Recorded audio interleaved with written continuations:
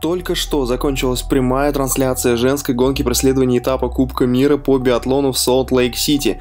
И мы готовы вам рассказать о том, как сложилась эта гонка и какие у нас получились результаты, а также кто занял призовые места и на каких местах находятся наши любимые спортсмены.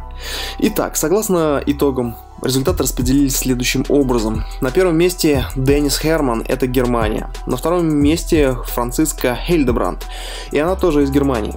Третье место и бронзу получает Кайса Мекерянин, это Финляндия. Четвертое место у Марты Реселан, это Норвегия. На пятом месте Анастасия Кузьмина, Словакия.